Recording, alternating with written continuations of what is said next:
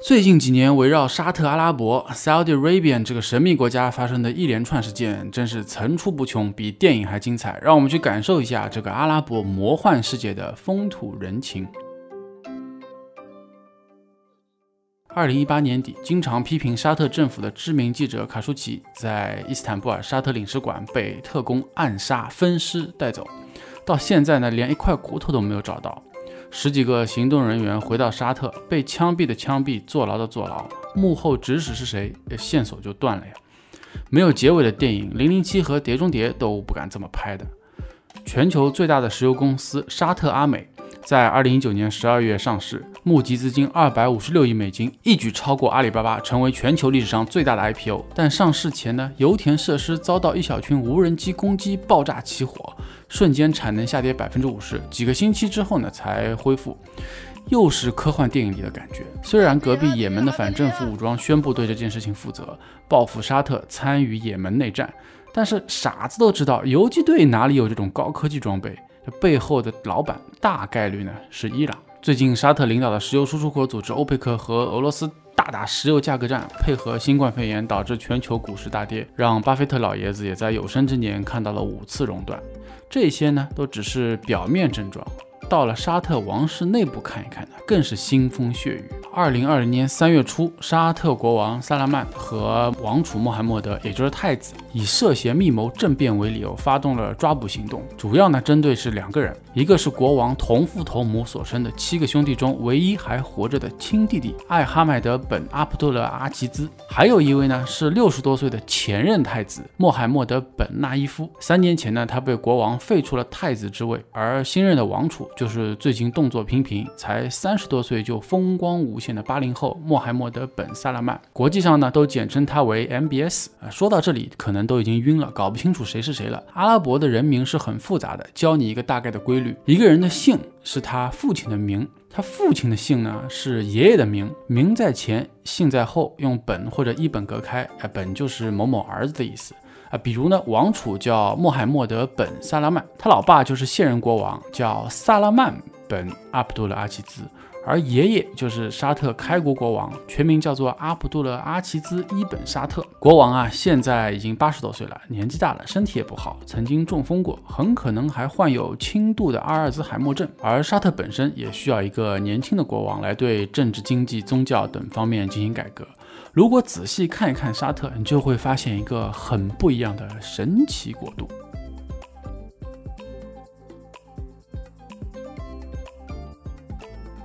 先从政治权力说起，呃，沙特的政治体制啊是绝对的君主制国家，国王拥有至高无上的权利，但王位继承呢却和很多君主制国家老爸传给儿子不一样，他们按照兄终弟及的方式。国王去世后呢，不能直接传位给自己的儿子，而是要由国王的兄弟们按这个年龄顺序继承王位。这样做呢，也是为了王室家庭成员团结。各种古装电视剧看过，你们肯定就懂了嘛。皇帝儿子太多，那是非常危险的，搞不好打来打去，民不聊生啊。一九五三年以来，开国国王伊本沙特的儿子们就轮流统治沙特，已经经历了六任国王。现在第二代王位继承人都年事已高，有好几个王储啊，还没等到自己继承王位就去世了。再这样下去呢，容易不稳，会乱，就你懂的。所以说，二零一五年国王萨拉曼掌权之后呢，就计划改变这个制度，先是取消了自己同父异母的堂弟，呃，王储，也就是第一继承人的资格，让哥哥的儿子纳伊夫成为太子，而自己的儿子 MBS 呢，就排在太子之后，成为第二继承人。而两年之后呢，国王又要求自己的亲侄子放弃王储之位，理由呢说他是一直要服用吗啡，呃，药物成瘾，怎么能长期治国呢？因为之前他是沙特安全部队的领导，有一个来诈降的基地组织二五仔呢，把炸弹塞在自己职场里，然后自杀时期差点把纳伊夫给炸死，躲过了暗杀，但是可能是落下了心病。就这样，国王让自己的儿子当上了王储，这是沙特历史上第一次出现重大权力制度变化。而宗教上，沙特也是在非常缓慢的改革变化。沙特作为中东最重要的穆斯林国家，是伊斯兰逊尼派的大国，孙尼；与之对立的是什叶派的伊朗，西亚。两派的千年恩怨太长了，只能以后再说了。除了首都利雅得 （Riyadh） 所在的阿拉伯半岛中心高原的内治地区。沙特还控制着半岛西侧红海东岸的汉治地区，那里是一片沙漠中的绿洲地带。伊斯兰宗教的圣城麦加 （Mecca） 和麦迪娜 （Medina） 就在那个地方。圣城呢有全世界第一大和第二大的清真寺，阿联酋阿布扎比对游客开放的漂亮的白色大清真寺呢只能排第三，可见沙特的宗教地位。每年朝圣的人群挤满了圣城的街头。一九三二年呢，开国国王伊本沙特将中东最有势力的哈希姆家族赶走，自己控制了汉治地区。这又是一段错综复杂的历史故事。哈希姆家族有多厉害？你只需要知道，他们家族是伊斯兰教创始人穆罕默德的直系后代。汉之国王侯赛因本阿里的几个儿子呢，曾经就是伊拉克、叙利亚、约旦和三个国家的国王。后来伊拉克才有了萨达姆，叙利亚才有了阿萨德。而约旦国王现在都是哈希姆家族的嫡传，正式的国名呢也叫约旦哈希姆王国。沙特也是政教合一的国家，宗教制度极其严格，属于伊斯兰宗教中非常保守的瓦哈比主义派别。女性呢需要穿着覆盖全身的黑袍黑纱，只能露出两只眼睛。马路上还会有宗教道德警察随时查处违反宗教规定的人。很长时间呢，女性不能独立出门，也不能开车，直到二零一九年六月。沙特才开始允许女性获得驾驶执照。在以前呢，沙特是没有电影院的。直到二零一八年四月，才有第一部电影公开上映，那就是漫威的《黑豹》（Black Panther）。而外国人也很难获得去沙特的旅游签证，卖家一般也是不允许非穆斯林进入的。可见宗教上的保守已经在某种程度上影响了经济的发展和生活便利。新的王储呢，也是希望宗教可以慢慢的转变为更为开放的温和伊斯兰主义，让世俗生活可以跟宗教更加融合。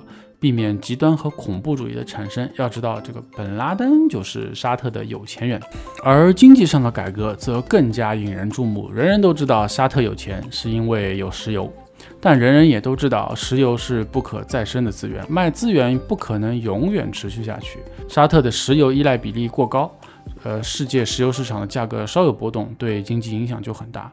王储上任之后呢，就提出了雄心勃勃的沙特二零三零愿景计划，其中最重要的目标就是经济增长和多元化，也就是减少对石油出口的依赖。当然，改革不是随随便便说改就改的。凡是变化，就会触动到一大波的既得利益者，在沙特就是王室周围的各类亲戚宗派，国家的石油收入也大部分流入了他们的口袋，而不是全体国民。二零一七年十一月四日，国王萨拉曼就宣布成立沙特最高反腐委员会，由王储担任主席。当晚，十一名沙特王子、三十八名前任沙特高官和商界人士就遭到逮捕，包括王室成员在内的两百多人被软禁在沙特首都利雅得五星级的 Ritz Carlton 酒店。后来，沙特王室发布声明说，在反腐行动中成功追回的资产价值超过一千零七十亿美金，包括房地产。公司股权、现金等等，通通上交国库。就这样，萨拉曼在上台之后，通过几次人事变革，两次更换王储，在确立儿子政治接班人地位的同时呢，也肃清了大部分意见分子。其他各派亲王不光是政治上被边缘化，实际上也被剥夺了继承权。很显然，为了推进改革，也为了将来继位扫清所有障碍，国王和王储都会展示权力和各种派系角力，才会有沙特内外各种奇怪的事件发生。慢慢的呢，所有的权力都会集中到王储一个人手里。未来沙特会不会实现二零三零的愿景目标？